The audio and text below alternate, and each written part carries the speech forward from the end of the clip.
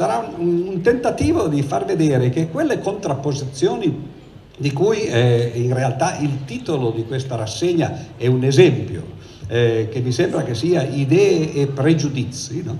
eh, sono contrapposizioni che esistono ovviamente che però forse eh, sono semplicemente il sintomo di qualcosa di un po' diverso, cioè il fatto che eh, gli uomini, come diceva un poeta, Coleridge, diceva gli uomini nascono platonici o aristotelici. Eh, c'è poco da fare, uno nasce in quel modo, come uno che nasce biondo e l'altro che nasce bruno. Eh, non è che uno può scegliere, beh, può, può tingersi i capelli, però eh, tingersi non, eh, non, cambia quello che è la realtà eh, dei fatti. E eh, cosa vuol dire essere platonici o eh, aristotelici? Beh, secondo me la contrapposizione fra le idee e, i pregiudizi è esattamente la contrapposizione fra eh, Aristotele e Platone. Eh, naturalmente al posto di idee si sarebbero potuti usare altri vocaboli, altri termini, per esempio concetti o giudizi che sono più o meno, eh, beh oddio, dipende come uno li definisce, poi ci sono stati filosofi che hanno eh, eh, dato ciascuno la propria interpretazione, però idee, concetti, giudizi stanno da una parte, ci fanno pensare a cose che arrivano se vogliamo dirla in termini fisiologici, eh, dalla, dalla, metà sinistra del nostro cervello, dal, dall'emisfero sinistro, anche se oggi quella distinzione fra destro e sinistro, anche fra destra e sinistra, ma quella è un'altra questione, no? ma fra destro e sinistro, cioè nel cervello, è un po' eh, passata di modo, perlomeno è stata un po' raffinata, eh, non è così netta come si poteva pensare una volta e anche questo è un esempio di quello che stavo dicendo eh, agli inizi quando eh, sono partita. Quindi idee, concetti e giudizi stanno da una parte Dall'altra parte che cosa ci stanno? Le cose che sono contrarie a quelle, contro i concetti ci stanno i preconcetti e contro i giudizi ci stanno i pregiudizi. E eh, contro le idee beh, non c'è proprio una parola no, che, eh, che, ci vada contro, però eh, Oriana ne, eh, stasera ne ha citata una che potrebbe essere appunto il contrapposto delle idee, che sono le superstizioni. Ora però se uno guarda per esempio l'etimologia delle parole, beh, si accorge che eh, queste parole eh, in realtà una volta significavano cose molto diverse. Per esempio idea, che noi usiamo continuamente, per l'appunto anche nel titolo appunto di una rassegna, eh, in realtà eh, quando eh, Platone l'ha, l'ha, usata nei suoi dialoghi, eh, che deriva da eidos, eh, eidos voleva dire in realtà una cosa un po' diversa, voleva dire forma.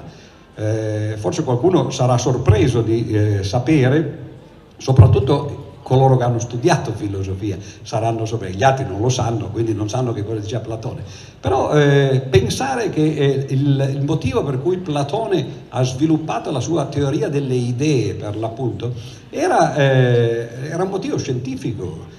C'era la matematica ormai da molti secoli, eh, in realtà da millenni però eh, la matematica greca fatta di teoremi, di dimostrazioni, di assiomi, di argomenti, eccetera, e soprattutto di oggetti matematici che erano gli ovvi oggetti che uno può pensare quando pensa alla matematica, cioè i numeri da una parte e le figure geometriche dall'altra. E eh, i numeri erano passati di moda perché eh, andavano di moda all'epoca, un paio di secoli prima, all'epoca di eh, Pitagora. Poi, eh, come forse qualcuno saprà, eh, Pitagora scoprì eh, delle cose indicibili, delle cose che non si dovevano nemmeno divulgare, scoprì che i numeri non erano sufficienti per descrivere la realtà per esempio scoprì che se voi prendete un quadrato e fate la diagonale del quadrato, non c'è nessuna unità di misura che sta un numero esatto di volte sia nel lato che nella diagonale. Questo è strano perché uno potrebbe dire, beh certo la diagonale è più lunga, magari però prendo una misura piccola a sufficienza, in modo che poi magari qui ci stanno 50 volte no? e qua ce ne stanno 30 no? e così via. Invece la famosa scoperta degli irrazionali eh, portò eh, appunto i greci a capire che eh, c'erano quantità che non si potevano misurare con la stessa unità di misura. Erano quello che si chiamavano incommensurabili, non c'era una misura che permetteva di misurarle eh, entrambe.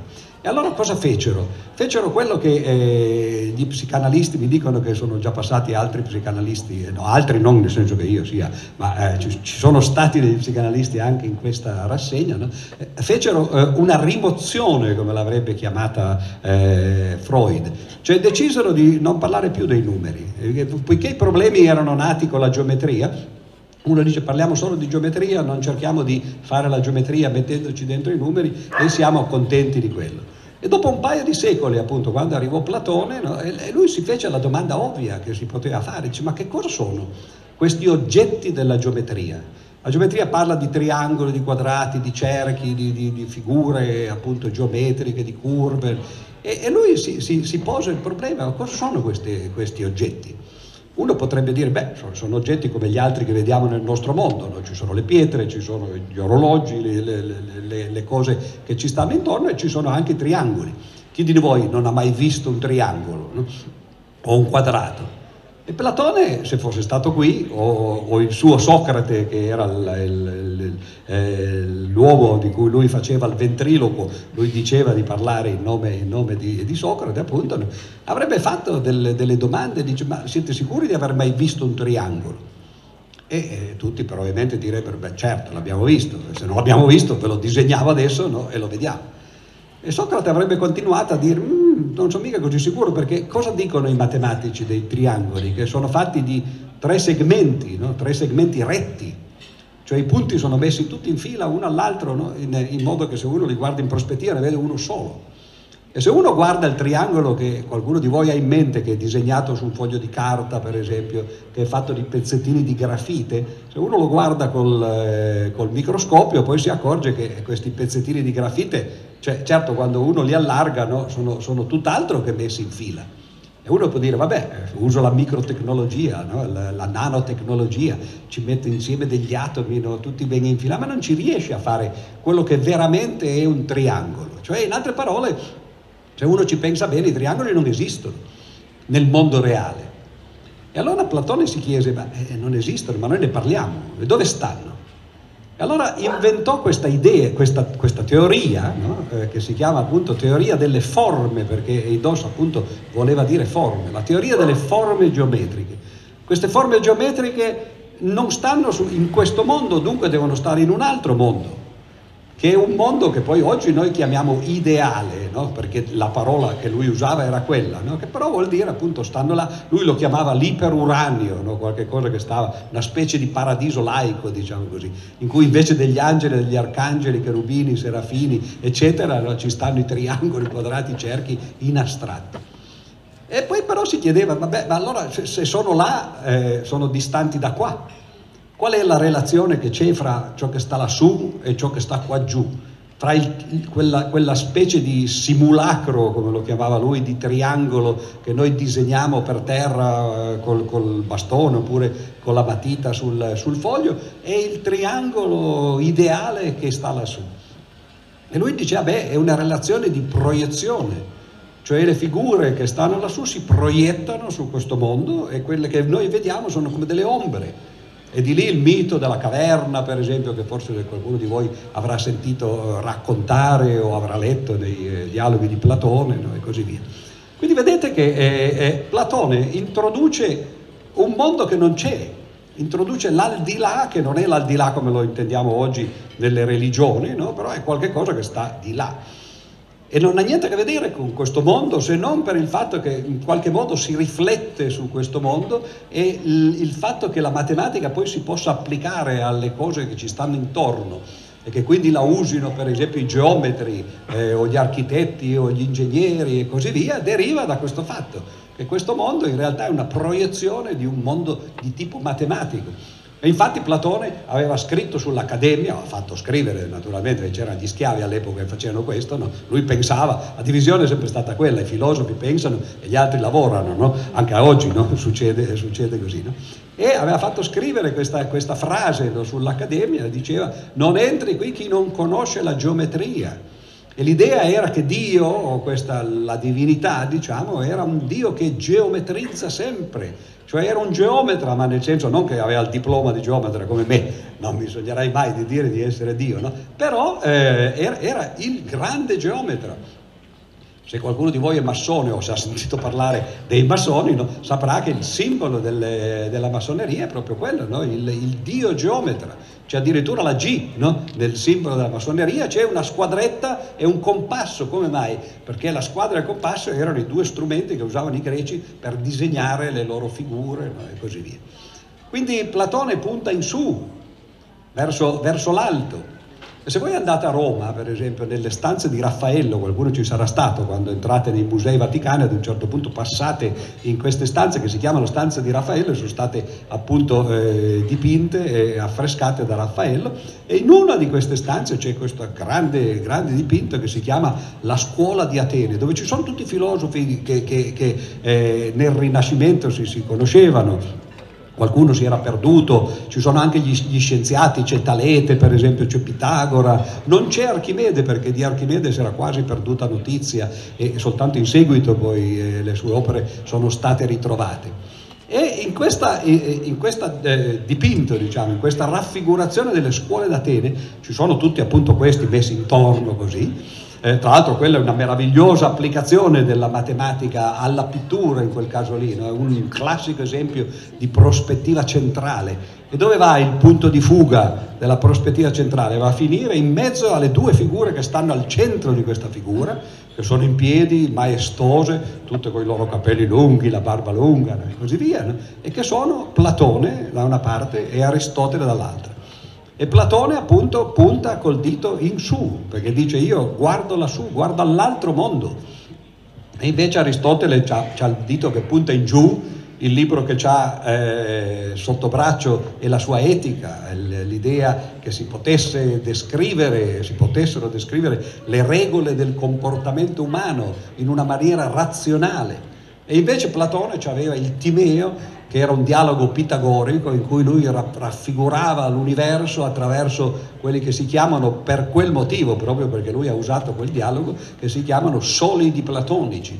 Lui associava gli elementi, gli, gli, i, greci erano fortunati, gli antichi. Noi se dobbiamo studiare gli elementi eh, andiamo al corso di chimica e ci dicono ah sì gli elementi più usuali sono 92 no? c'è la tavola di Mendeleev no? dobbiamo imparare no? quanti, quanti eh, protoni hanno nel nucleo quanti elettroni hanno eccetera e, e poi ce ne sono molti altri la, la tavola fi, finora arriva fino a 118 elementi e può arrivare in teoria perlomeno fino a 137 oltre no si sa che più di 137 elementi non ci possono essere per motivi che se volete nelle domande vi chiedete e, e, e vi dirò. Ma eh, i greci invece eh, avevano una tavola eh, degli elementi molto semplici, avevano quattro elementi, no? terra, aria, eh, acqua e fuoco. No?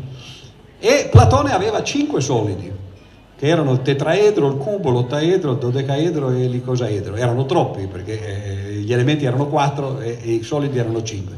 Lui ne prese quattro e li associò ai quattro elementi e l'ultimo che gli rimaneva in mano, che era il dodecaedro, lo associò all'universo. E questa era l'idea di Platone, che la matematica potesse descrivere il mondo. No? Però la matematica era qualcosa che stava lassù e invece Aristotele qualcosa che guardava qua giù. Questa è l'idea, no? eh, le idee di Platone no, sono in realtà il contrario di quello che oggi noi chiamiamo idee, cioè di qualcosa di razionale, sono qualcosa di irrazionale nel senso che eh, non appartengono nemmeno a questo mondo, sono quello che noi chiameremmo la metafisica. E la metafisica sta contraria alla fisica. Quando uno dice idee e pregiudizi, idee e preconcetti, potrebbe dire semplicemente no, fisica e metafisica i preconcetti, i pregiudizi, le superstizioni stanno tutte nella metafisica.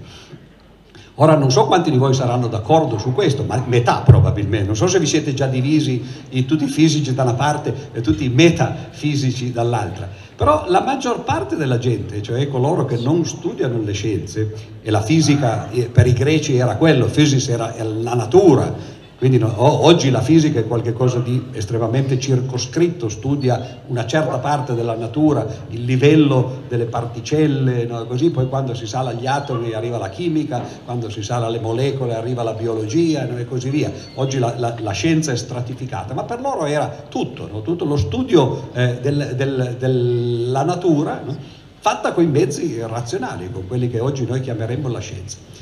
La metafisica invece, e purtroppo per noi, è tutto il resto.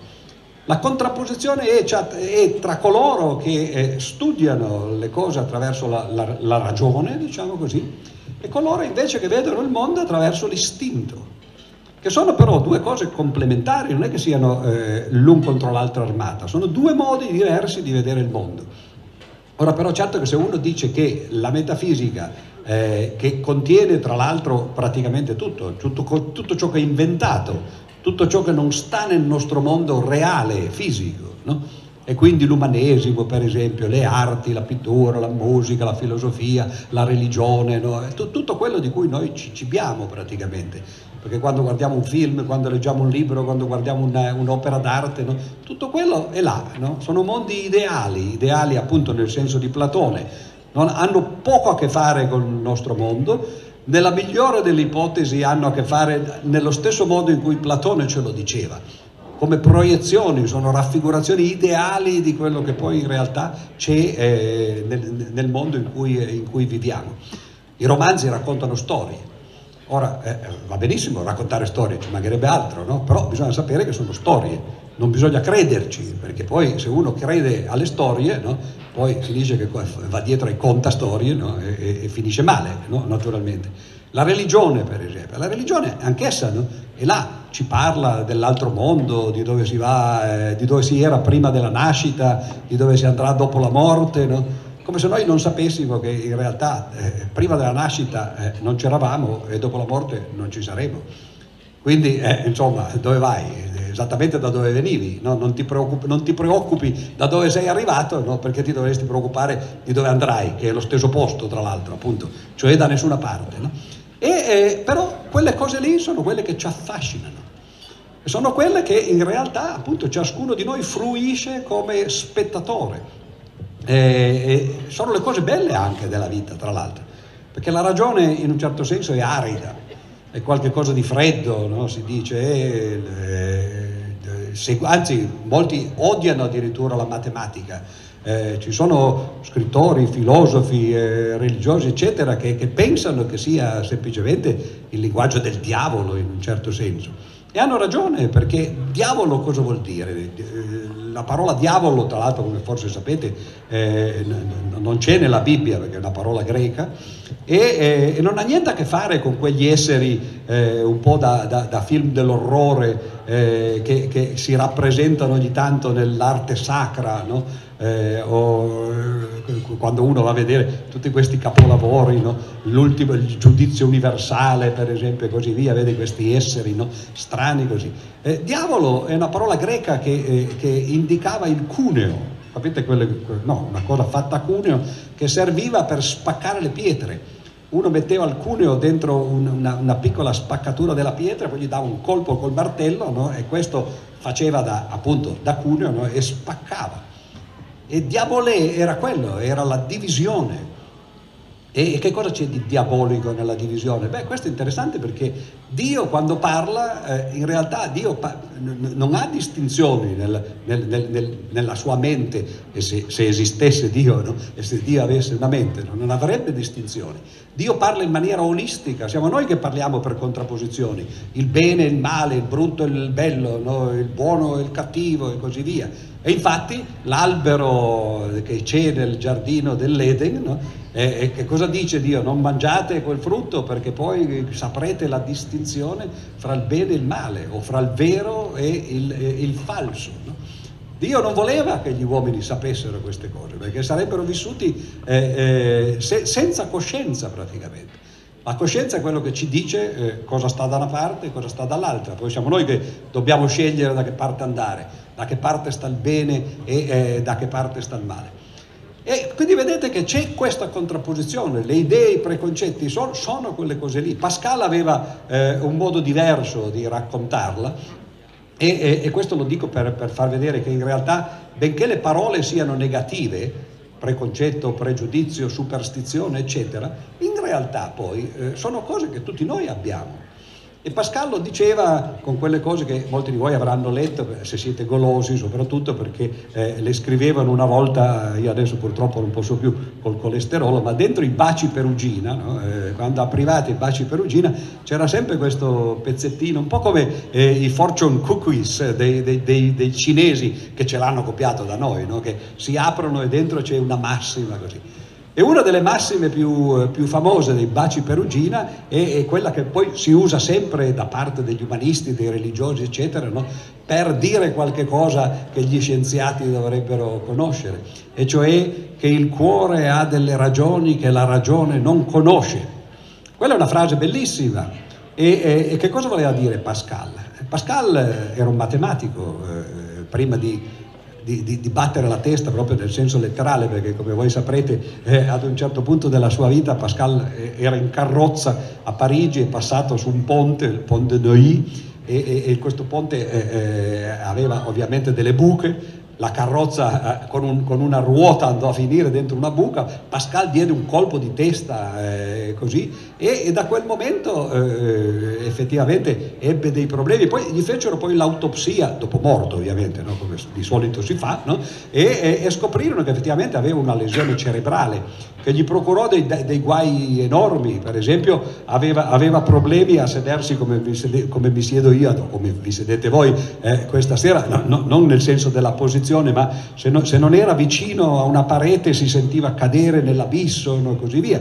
Cioè, oggi noi magari ci scherziamo su queste cose, ma dal punto di vista psichio, psicologico, psichiatrico, doveva essere una vita molto, eh, molto, molto eh, dura. E, e, soprattutto nell'ultima parte della sua vita divenne un, un, un, religioso fanatico. Chi di voi ha letto i pensieri di Pascal si sarà accorto che a parte alcune frasi come questa qui che vi ho citato, il resto sono cose da, che, che, fanno drizzare i capelli. No? Per una persona come lui che aveva fatto dei teoremi meravigliosi nella matematica, che era stato uno degli inventori della geometria proiettiva, del calcolo infinitesimale, no?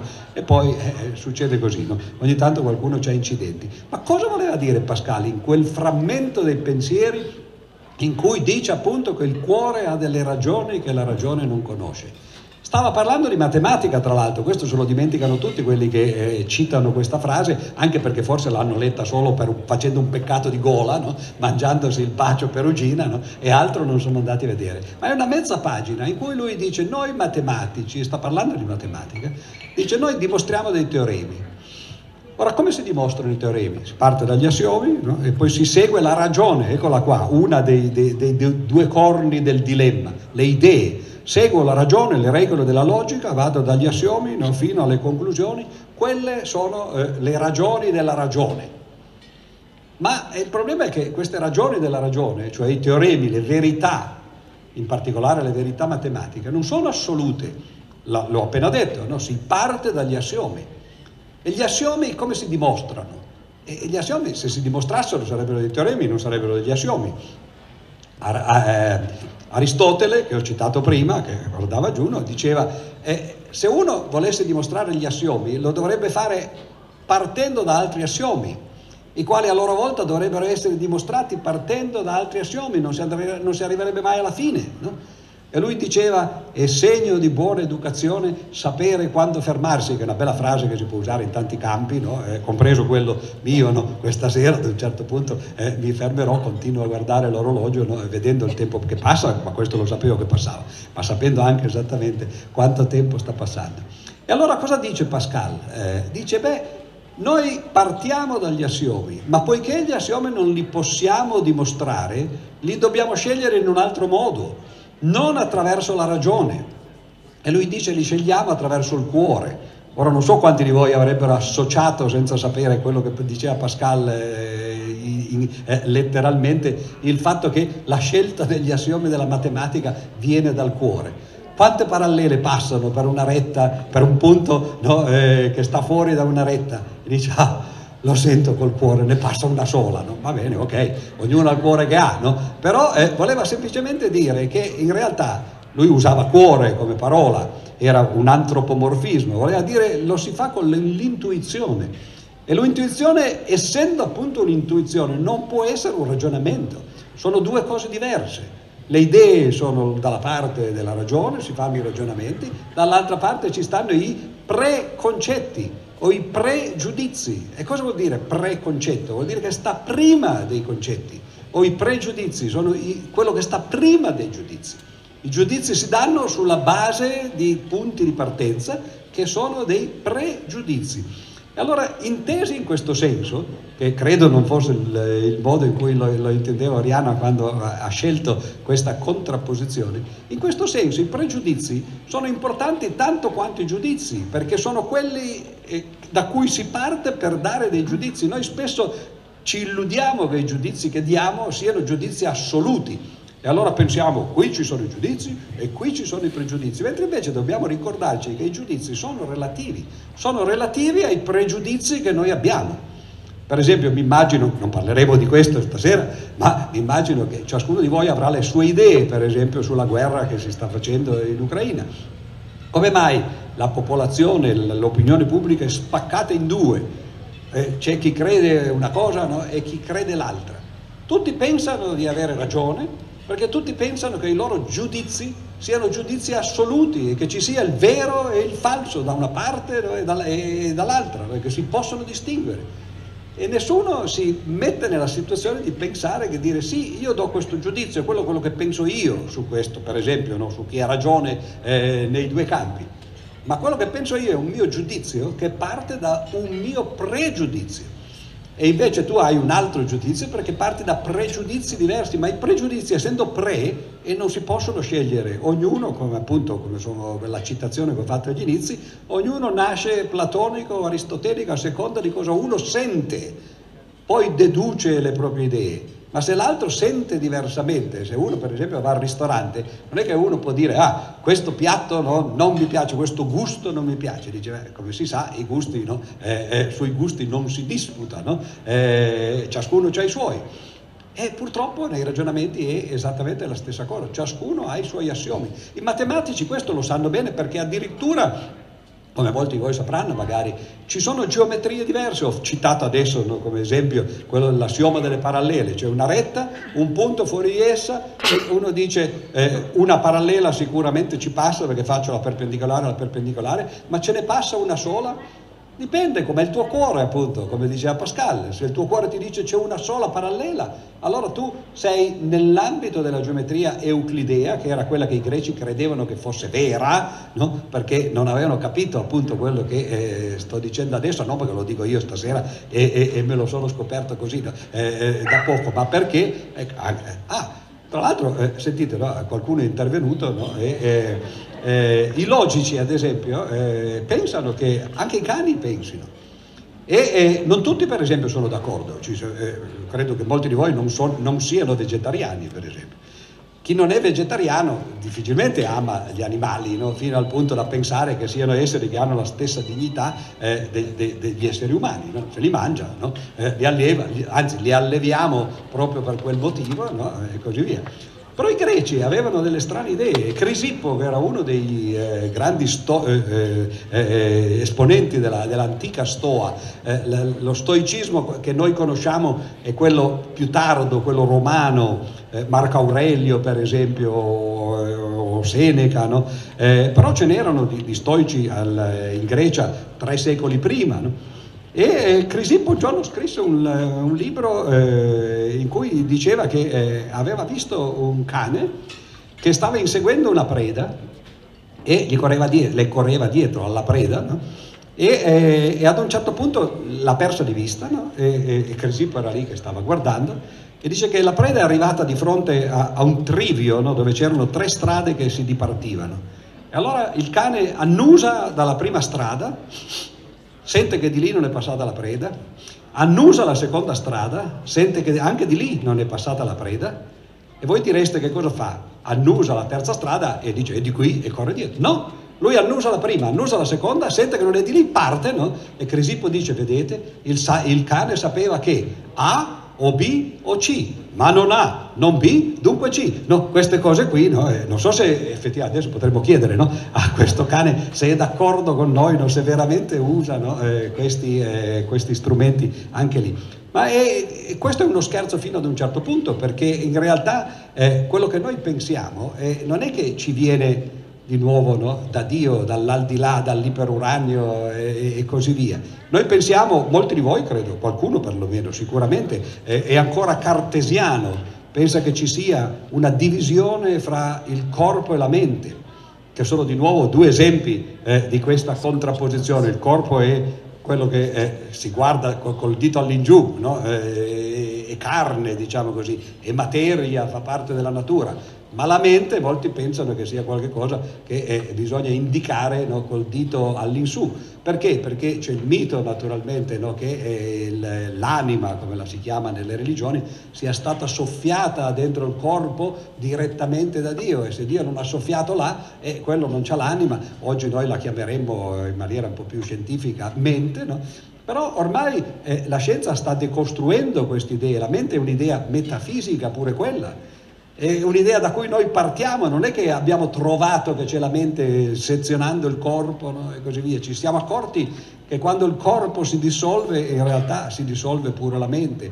È come un albero che comincia, molti di voi avranno avuto dei parenti o ce l'avranno adesso eh, con, eh, con, problemi di, di memoria o di demenza senile o di Alzheimer e vedranno che non è che da un giorno all'altro pam, si perde completamente la coscienza perché se n'è andata, no? E invece no, è come gli alberi che perdono le foglie una dietro l'altra e alla fine ad un certo punto no, si scopre che di foglie ne sono rimaste così poche no, oppure nessuna no, e che l'albero è diventato spoglio. Ebbene, diceva appunto, no, questa divisione fra corpo e mente no, è di nuovo una eh, delle grandi contrapposizioni tra idee e eh, superstizioni. Tra l'altro anche superstizione è una parola che si può interpretare in senso benevolo, così come ho interpretato il pregiudizio e eh, il preconcetto, perché superstizione, se voi guardate l'etimologia, vuol dire semplicemente sovrastruttura, no? superstizio, stare sopra, ciò che sta sopra. E allora di nuovo questa è una, eh, è una contrapposizione, ci sono coloro ai quali interessa soltanto la struttura delle cose io guardo una roba, per esempio la guardo dal punto di vista della chimica o della biologia, guardo quali sono le, le, le, le, molecole con cui è costruita, lo guardo dalla chimica, le molecole sono fatte di certi atomi, lo guardo dalla, dal punto di vista della fisica, eh, gli atomi sono fatti di particelle, lo guardo dal punto di vista della matematica o della fisica matematica, le particelle, eh, gli atomi, le molecole seguono certe leggi no? e, e, e così via. Questa è la struttura del mondo. Molti si accontentano di quello, dicono a me basta, non voglio saperne altro perché questo è tutto quello che c'è ed hanno ragione in questo. Però oltre quello che c'è uno ci può mettere sopra qualche cos'altro, una sovrastruttura. È come quando magari appunto no, c'è, c'è, un pezzo di piazza, uno ci mette fuori no, il, il dehor, no? quella è una sovrastruttura, infatti i comuni chiedono poi le tasse sulla sovrastruttura che voi, eh, che voi avete posto. Allora in questo senso la sovrastruttura è semplicemente qualcosa che si aggiunge. E infatti per esempio i credenti, eh, con cui io spesso appunto dialogo e spesso anche magari un po' discuto, no? eh, non soltanto dialogo, mi dicono proprio quello. Mi dicono, ah ma vedi, ma tu guardi il mondo soltanto dal punto di vista appunto della struttura, usando i termini che stiamo usando adesso, noi ci mettiamo di più, abbiamo di più. Il problema è che sei, uno che ce lo mette no, poi non significa che quello ci sia, cioè quella potrebbe essere appunto un'illusione e coloro che non credono a queste sovrastrutture o a queste superstizioni pensano che sia semplicemente un'illusione. Però se un'illusione fa vivere meglio, perché non seguirla? Per esempio le religioni sono nate con eh, l'illusione, con la, la superstizione dell'aldilà soprattutto per coloro che muoiono, perché poi anche i credenti credo che cerchino sempre, benché a parole, in teoria, dovrebbero soltanto sperare di morire il più presto possibile per finire in paradiso no? e, e, e, togliersi da questo luogo di, di, di lacrime che è, che è, la terra, poi in realtà sono, siamo, siamo, tutti, no? compresi i credenti, ben attaccati su questa terra no? e, e ce ne andiamo il più tardi possibile. In parte sarà perché se uno è veramente credente non è che abbia l'assicurazione di andare su, c'è anche un giù nell'aldilà, no? E quindi magari dice, insomma, no? magari finisco dall'altra parte, no? in mezzo ai diavoli, anche se non esistono, sono soltanto cunei, no? eh, però magari mi potrebbe male. Ma dall'altra parte, secondo me, c'è anche un po', credo, eh, il, il risultato del fatto che in fondo nessuno crede veramente perché le cose che crediamo sono quelle che eh, tocchiamo con mano, infatti non a caso ci sono queste espressioni, le vediamo con i nostri occhi, tocchiamo no, con, eh, con le nostre mani e così via. Uno si può illudere che ci siano queste cose e naturalmente se si illude vive meglio perché magari una persona cara muore, se ne va, e l'idea che non la vedrai mai più, che non avrai mai più la possibilità di, eh, di, di parlarle no? e così via, e, quella è una cosa difficile da sopportare. C'è gente che non la sopporta, come sappiamo, a volte la pena è così grande che, che si finisce addirittura di decidere di, di non voler più soffrire. No?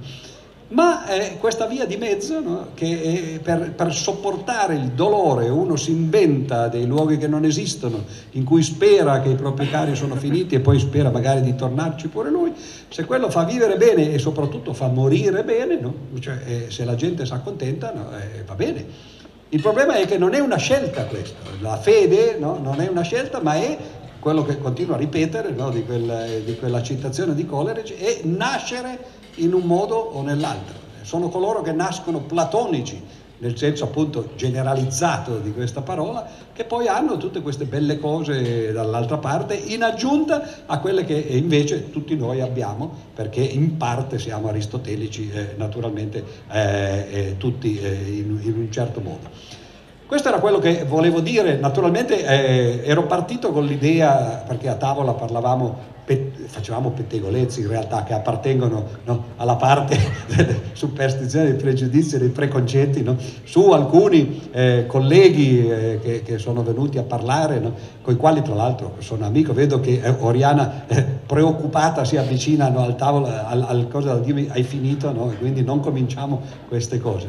Però eh, la cosa interessante è che io ho molti amici che, che, la, la, che condividono, diciamo così, no, il, il, eh, questa compagnia di giro no, che, eh, che, siamo un po' diventati, andiamo a fare conferenze da una parte e dall'altra, e ognuno ha il suo ruolo. Ci sono coloro eh, come me che, che, cercano semplicemente di riportare eh, il, diciamo così, il discorso eh, su, su, cose concrete, su, eh, sulla parte appunto che, che guarda in giù, no? eh, sulla struttura, no? sulla ragione no? e così via. E ci sono quegli altri invece che eh, si divertono perché si divertono molto più di noi, perché noi siamo costretti dalle leggi della ragione che sono inflessibili, mentre invece le leggi dell'istinto sono eh, l'esatto contrario, molto permissive. E quindi gli psicanalisti, per esempio, no? uno dei quali è venuto qui eh, qualche tempo fa, che fa questo grande successo, no? così. Beh, certo che fa successo, perché uno che dica che c'è l'inconscio, per esempio, no? e che è, è, di cui poi se, se, fosse vero che c'è, essendo inconscio, non possiamo sapere nulla, no? perché come facciamo a sapere? Se, se, se, potessimo saperlo, quella parte lì no? sarebbe conscia. No? E però allora questa è una versione moderna che va bene, delle religioni, che va bene per l'uomo moderno. La psicanalisi è in fondo una specie di eh, versione laica della religione, benché poi eh, magari gli psicanalisti non siano religiosi. Per esempio Freud, che è l'iniziatore di questa, eh, di questa disciplina, eh, beh, Freud in realtà poi eh, era ateo, benché fosse di origine ebraica, ma non credeva, ha scritto un bellissimo libro che si chiama eh, L'avvenire di un'illusione, che era un, un il tentativo di raccontare quale sarà l'avvenire della religione, lui la chiamava una illusione per l'appunto.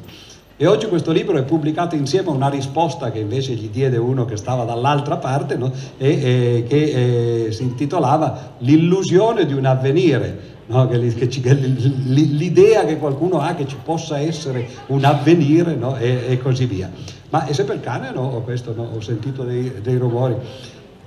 Come? a bambini, ups, no, no, no, a volte però non era ancora un qualcosa di eh, strutturato dal punto di vista linguistico. E, eh, però se uno guarda bene la, religio- la, la, la psicanalisi si accorge effettivamente che la psicanalisi è strutturata come se fosse una religione ci sono queste funzioni religiose, uno va a confessarsi, invece di andare a confessare i peccati da un prete, va a raccontare la, la propria vita da uno psicanalista, dove quello lo sta a sentire, no? eh, uno psicanalista che conosco, di cui non faccio il nome perché eh, no? eh, una volta eh, io ero un po' scettico sul fatto che eh, eh, lui praticasse la psicanalisi secondo le regole o, o le non regole di Lacan, anche Recalcati lo fa, ma non è lui, questo è per evitare no, di dire che poi magari lo dico in maniera indiretta, era un altro. No? E, e Lacan diceva che chiunque può fare lo psicanalista. E questo signore di cui sto parlando è uno che aveva una formazione scientifica che a un certo punto si è messo a fare lo, lo psicanalista, a praticare la psicanalisi. Io sono, ero e sono un po' scettico su questo e lui mi ha detto guarda, tu devi capire una cosa, che la gente farebbe qualunque cosa pur eh, di, di, di, trovare qualcuno che le sta a sentire. E forse la psicanalisi è proprio questo, si sono inventati l'uovo di Colombo cioè uno si siede, non, sta, non, non, fanno nemmeno finta di stare a sentire, perché si siedono dietro di modo che uno no, no, non li possa vedere che, che dice, ah, dice, guarda, quando finisce questo, no? e così via, no? e però no, uno parla, paga per parlare e per potersi sfogare e così via. La più bella definizione che io conosca della psicanalisi quando tornerà Recalcati, ma gliel'ho detto una volta, non gli è piaciuta, eh, è quella che ha, che ha, de, ha dato Nabokov come voi sapete, grande scrittore eh, che scrisse lo, tanti bellissimi romanzi, eh, anche molto sofisticati tra l'altro, sia come concetti che come linguaggio. E ne scrisse però a un certo punto uno che ebbe il, eh, il grande difetto di fare un enorme successo no?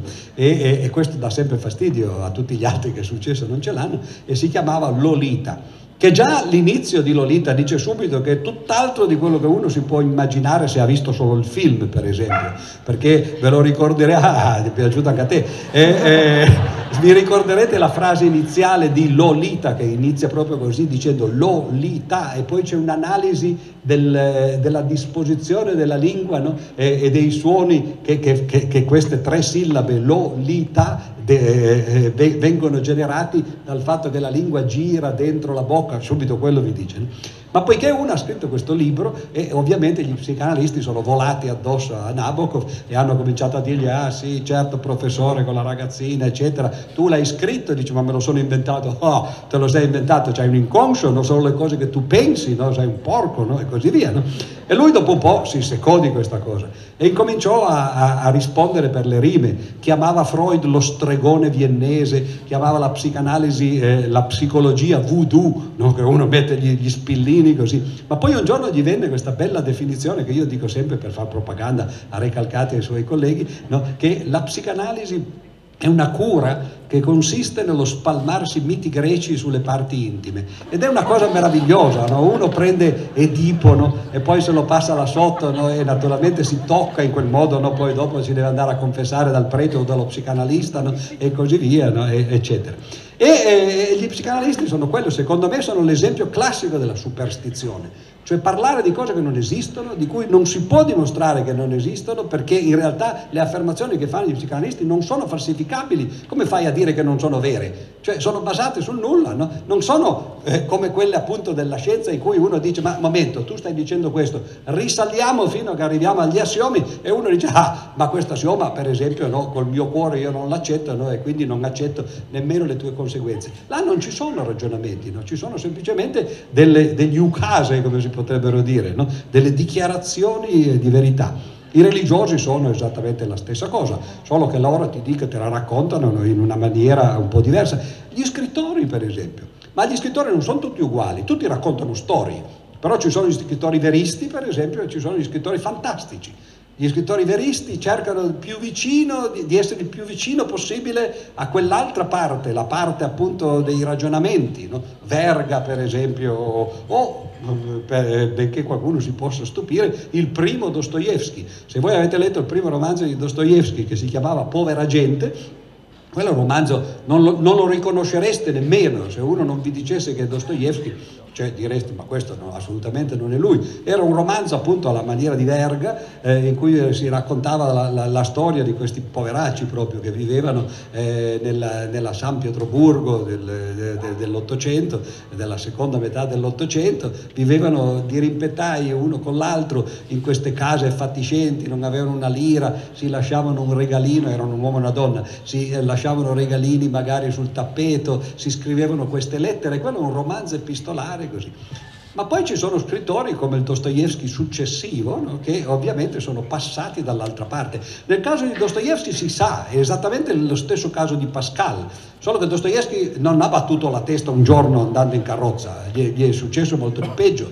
Voi lo saprete, no? la storia di Dostoevsky in breve è, è, è la storia tragica di una persona che aveva un fratello che era un terrorista, come lo si chiamerebbe oggi, e, e che attentava o perlomeno pianificava di attentare alla vita dello zar e, e, e facevano riunioni questi, questi, terroristi e Dostoevsky andava anche lui ogni tanto perché eh, c'era suo fratello, finché un giorno arrivò una retata, li arrestarono e, e li condannarono eh, tutti, a morte li condannarono.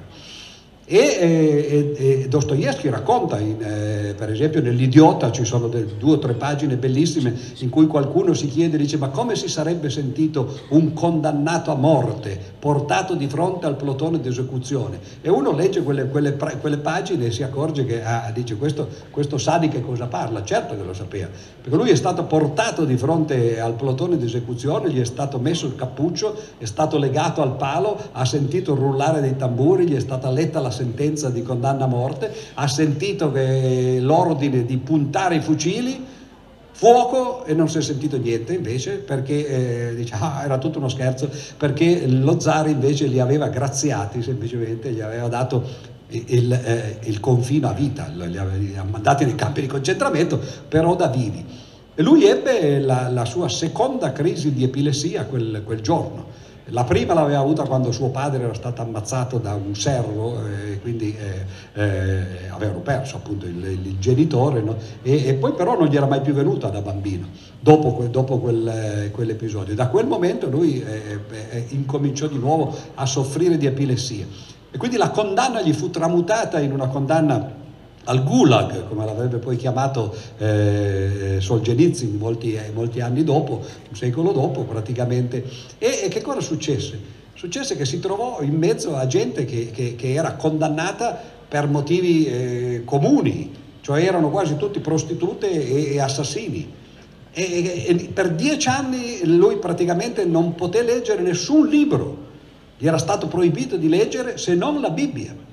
E voi potete capire che dopo dieci anni di confino e, e, di campo di concentramento, uno che era uno scrittore che ha letto solo la Bibbia e che ha parlato solo con assassini e prostitute, cosa fa? Scrive Delitto e Castigo, scrive i fratelli Karamazov, no? così diventa uno scrittore di tutt'altro genere e diventa un predicatore. Infatti eh, qualcuno dei russi, eh, eh, compreso Nabokov tra l'altro, no? Eh, lo, e non solo Nabokov, no? ma tanti altri, Bunin per esempio, eh, Tolstoi stesso. No? Tolstoi diceva de, del, del, eh, dei romanzi di Dostoevsky, dice i suoi romanzi sono, mal- Dostoevsky è malato, è malato proprio nella testa, e i suoi romanzi sono malati come lui. Dostoevsky sta da questa parte ed è però la parte che ci affascina perché noi siamo affascinati da, da, da queste perversioni, eh, da, da, questi pensieri contorti e così via, quasi come se fossimo dei guardoni che andiamo a vedere lì. L'altra parte è la parte razionale, ma non possiamo chiederla a Dostoevsky, o meglio, ce l'aveva prima appunto, il primo Dostoevsky era così. Tolstoi, che ho appena citato, stava dall'altra parte invece. Tanto che Thomas Mann, quando eh, fece un saggio su, su, eh, su, su un romanzo di Tolstoi, eh, eh, disse lui, Thomas Mann, che, che, stava anche lui dalla parte di Dostoevsky, no? disse in realtà eh, Tolstoi era, era lo scrittore della carne, cioè stava in questo mondo, scriveva di cose che accadono, la guerra, la pace, gli amori, eccetera. E Dostoevsky invece scriveva di queste cose qua, no? dell'esistenzialismo, del male di vivere e così via. No? Poi Tolstoi è finito come lui, perché poi alla fine della sua vita, come saprete, l'ultimo romanzo, Resurrezione, no? è finito male anche lui. E l'ultima settimana della sua vita aveva aperto sul, sul, tavolino da notte i fratelli Karamazov e poi scappò dalla moglie da, dalla quale aveva voluto scappare per tutta la vita, è scappato gli ultimi sette giorni della sua vita e poi morto in un casello ferroviario, eccetera. Ma mi accorgo che sto, eh, non dico divagando, perché sto facendo esempi di contrapposizioni tra, appunto, tra le idee, i pregiudizi, tra la fisica, la metafisica, tra la ragione e, e, e l'umanesimo, no? eh, anche all'interno dei vari campi, cioè ci sono scrittori che stanno più da una parte e quelli che invece stanno più dall'altra. La stessa cosa vale per i filosofi.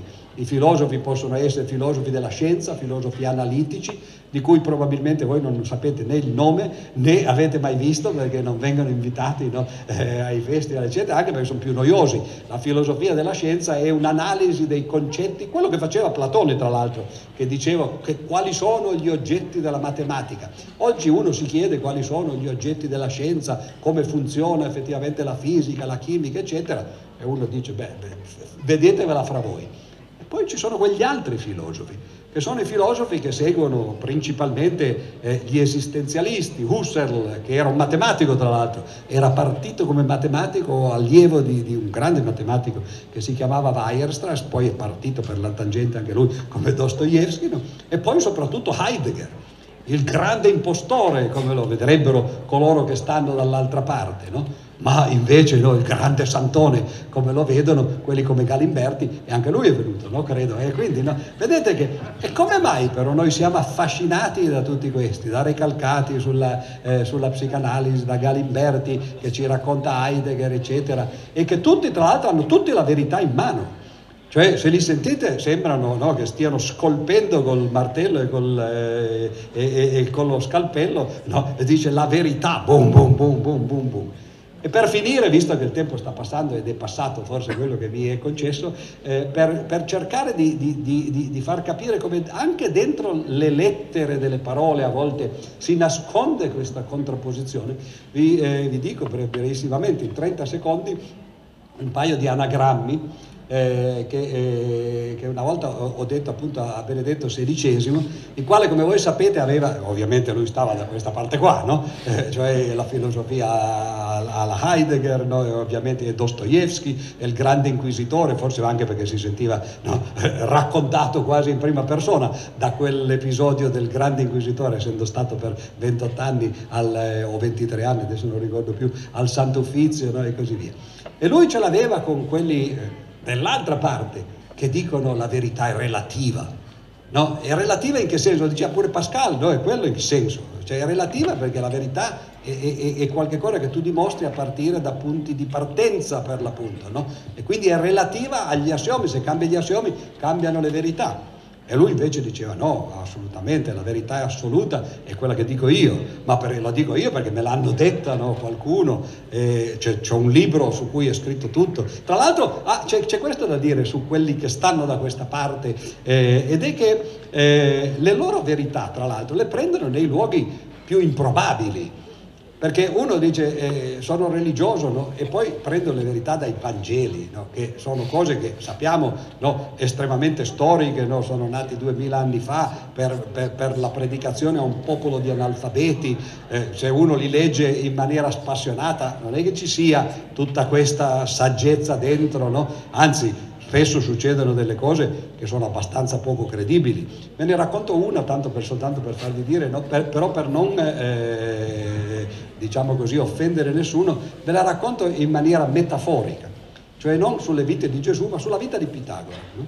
E voi sapete che Pitagora eh, si dice che sia esistito, no? però eh, insomma, la storia, no? eh, noi non c'eravamo. Ci sono delle vite di Pitagora, in particolare Giamblico ne ha scritta una, ma ce ne sono tre, eh, in realtà quelle famose, che sono però molto successive alla, a, agli episodi di cui in teoria si racconta.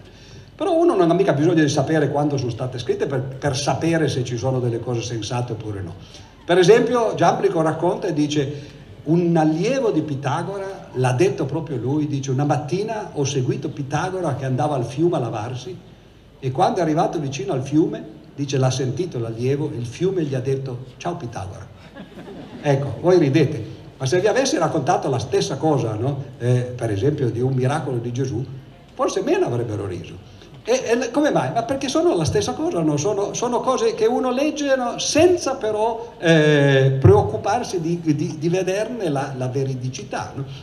E allora eh, l'idea è che in un libro c'è scritto tutto, i religiosi hanno questa idea, no? cioè prendo la Bibbia, che sia il Vecchio o il Nuovo Testamento, no? secondo di quello che, che, mi serve, perché poi nella Bibbia c'è scritto tutto il contrario di tutto, no? e, se, e, sono come le opere di Lenin, che quando uno eh, in Russia le faceva studiare all'epoca del comunismo, qualunque cosa dovessi giustificare, qualcosa trovavi nelle opere di Lenin che te lo giustificava, eccetera. E, eh, gli heideggeriani per esempio non hanno, beh adesso oggi loro hanno le opere di Heidegger che vengono trattate esattamente come i Vangeli o come le opere di Lenin eh, dell'Unione Sovietica, no? l'ha, l'ha, detto lui, ipse dixit eccetera. No? Ma eh, Heidegger che era il primo no, di questa nuova eh, impresa, lui diceva che bisognava risalire ai presocratici, quella era, un, era una mossa interessante perché se uno dicesse bisogna risalire ai dialoghi platonici, quelli ci sono, li leggiamo, dice eh, non c'è scritto quello. Lui dice no, bisogna risalire ai presocratici, quelli sì che avevano visto giusto. E dice sì, però dei presocratici non c'è, mai, non c'è rimasto quasi niente, solo dei frammenti. O ti dico io cosa c'era dentro loro. E infatti su un libro su Parmenide, no, un libro no, su, su, su quell'altro, e buonanotte, non si poteva fare così. E allora cosa ho detto quel giorno eh, a Ratzinger? Ho detto, vede, tutti e due noi parliamo della verità, no? la verità, otto lettere. No? E infatti poi il libro il nostro è intitolato così, In cammino alla ricerca della verità. E gli ho detto, eh, in effetti dentro queste otto lettere, no? se uno le anagramma, no? salta fuori eh, la parola rivelata. E lui mi dice, ah, ha visto? Gli ho detto, eh già, eh certo, sembra che abbia ragione lei, no? cioè che rivelata è, è, è, un significato che sta dentro alle, alle, lettere stesse della verità. E però, se uno le guarda eh, eh in un altro anagramma, eh, ci, ci tira fuori relativa. E lì gli è piaciuto di meno, dice, oh, Dice, e allora come la mettiamo? E, lui che però era una persona spiritosa tra l'altro e anche eh, insomma, che, seguiva no? appunto i ragionamenti dove uno lo voleva portare, dice è interessante che dietro alle stesse lettere ci siano nascoste questi due, questi due aspetti, la rivelazione da una parte, il relativismo dall'altra contro cui lui faceva la battaglia, tutte e due espressioni di una stessa verità. Poi per bontà d'animo eh, ho evitato di dirgli altri anagrammi che potrebbero essere per esempio evitarla, vietarla, no, ancora peggio, quello però non ho voluto eh, esagerare. E poiché non voglio esagerare nemmeno con voi questa sera, mi fermo qui a meno che ci siano delle domande o eh, delle critiche che sono ancora più eh, accette e più divertenti naturalmente che, eh, che le domande e altrimenti ci guardiamo fino a quando non ce ne andiamo oppure fin quando non arriva eh, Oriana che ho visto perlomeno in ombra ah, no, e anche in carne adesso no? quindi secondo le due allora. eh, osservazioni